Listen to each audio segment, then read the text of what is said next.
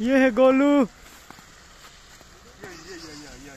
गोलू कैसे लग रहा है आपको पहली बार बर्फ़ देखकर? अच्छा, बहुत खूबसूरत बहुत खूबसूरत।